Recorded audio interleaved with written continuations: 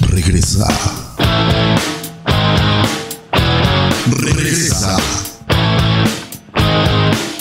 Regresa el fútbol del INAFA en este 2024. Siga las transmisiones en vivo por TV Cartago Digital, en YouTube y por Facebook en TV Cartago Digital Deportiva, con un equipo de